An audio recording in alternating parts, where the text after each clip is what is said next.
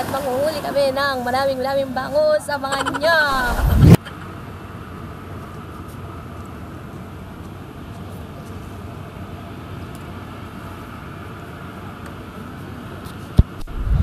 Babato si Chris. Ohoy!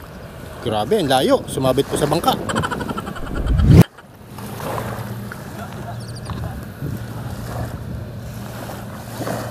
Bilis! Wala mo. Kunin mo, Tod. Nakmay mo na. Sipain mo! Wala, sipain mo. Sipain mo! Sipain mo! Sisipain kita!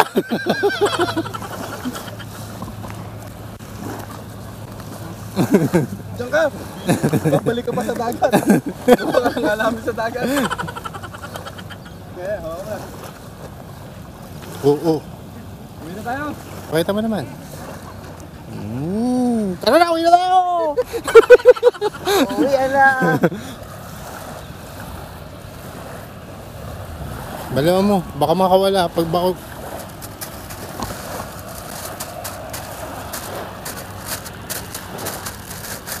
Hindi makita.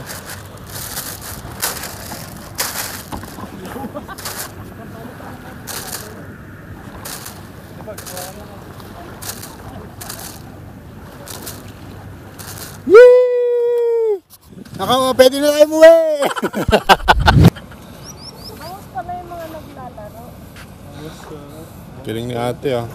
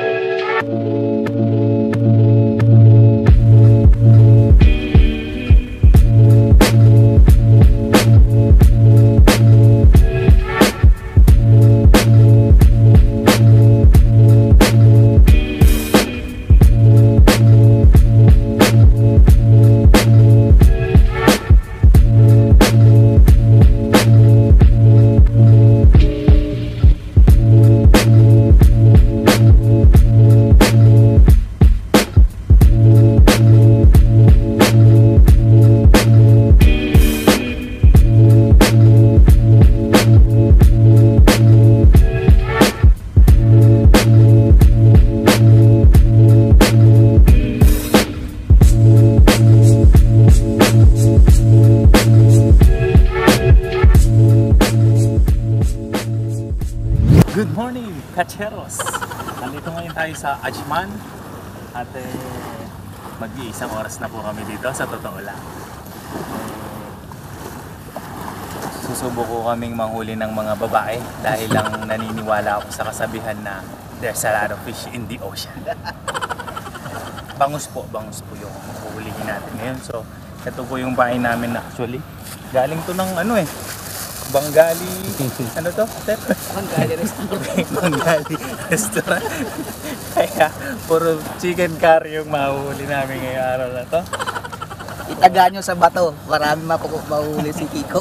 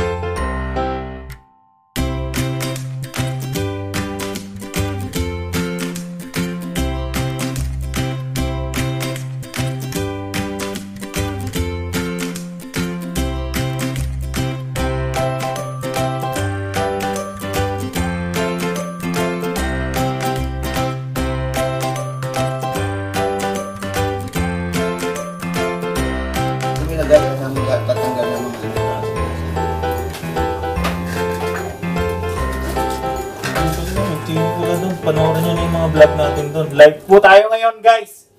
Welcome to Padlasang Pinoy! Ang galing talaga natin mag-fishing. Parang maputla to. Parang maputla tong huli mo diya. Welcome to Panlasang Pinoy. Bilasan na agad yung huli mo din.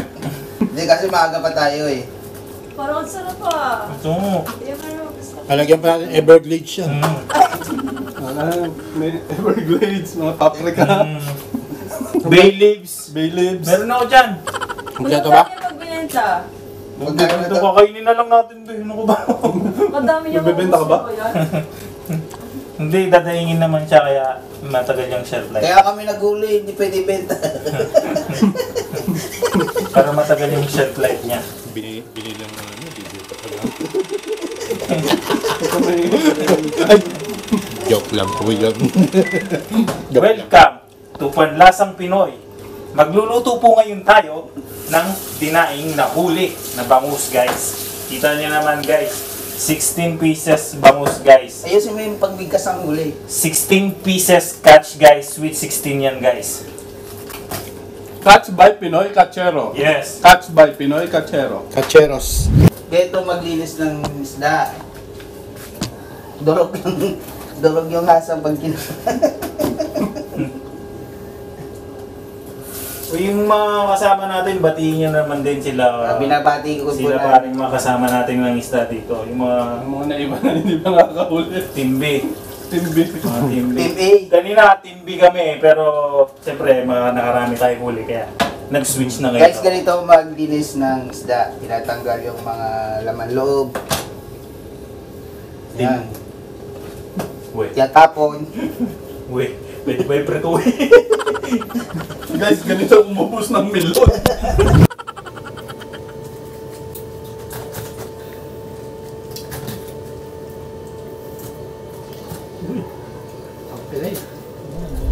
Pwede nga i-boneless to te pero. Pwede nga siya i-boneless. Kaso Meron yung, ba? yung mga mahihirap na na ano, yung Matinik yan eh. Diba? hindi siya ano talaga, mas, mas, Ito, pwede mo siyang tanggalin din yung backbone guys.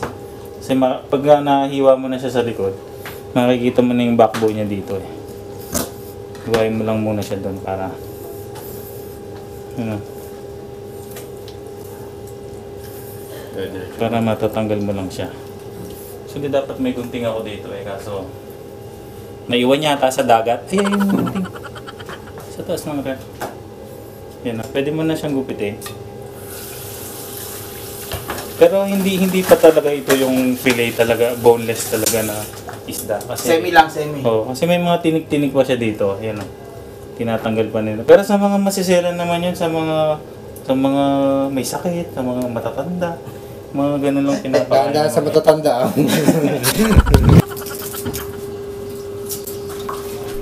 Lagyan natin ng vinaigrette. Gawa ng dadayingin po natin yung mga huli natin. Mabilis ang luto lang kasi guys. Gutom na gutom na po sila. Lagyan ng suka guys. After nilagay sa isang malinis na container, lalagyan siya ng suka. Anong purpose mo niya? Marinate? Yes, lalagyan natin ng bawang guys. Na hiniwa ng mga pawang eksperto lamang guys. Ang masang ng pang pinali guys. Video mo. Pepper guys. Pepper ulit guys. Parang hindi naman nalagyan. Parang napunta lang sa siko ko lahat. And then, asin guys. Lagyan natin siya ng asin guys.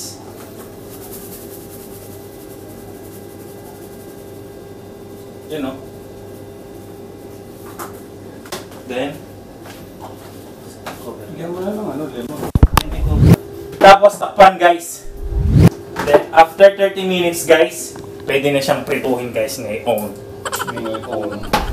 Paki tapos iinitin mo na yung kawali guys. Paki-check mo tep yung non-stick natin na maigi po kasi gamitin yung mga ganitong mga kawali na non-stick guys. Kita niyo naman black na black siya mula loob hanggang labas. Then, Hindi po talaga nahugasan. Then, cooking oil. Magprito lang guys. Simple lang yan. Hindi na kailangang i-memorize guys. Pag nakita nyo guys yung kawali na mainit, nakitang kita nyo naman, familiar na familiar sa inyong init ng parang init ng ulo ng asawa nyo guys. Lagyan nyo na kaagad ng mantika yan guys.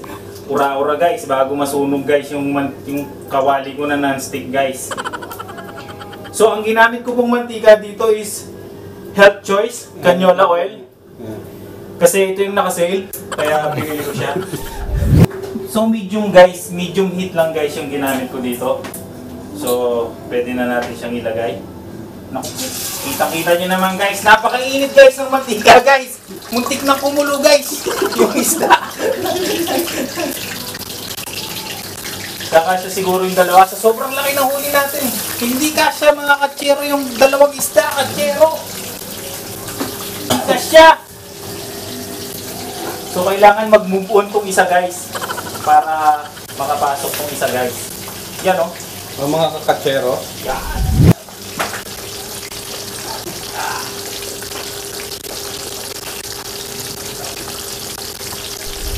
Babaliktarin ko lang ha.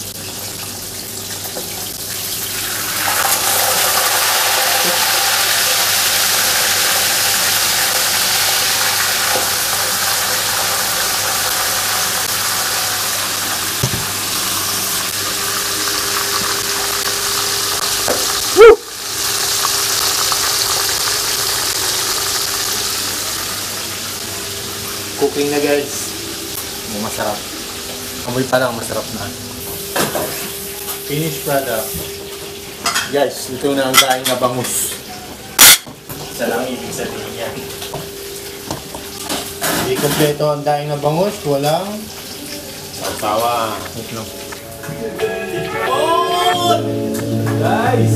Bili na kayo, 15 lang, 2 kilo.